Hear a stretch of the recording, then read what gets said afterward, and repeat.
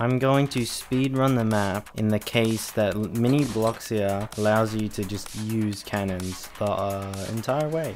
Alright, I've got this, I got this, I got this.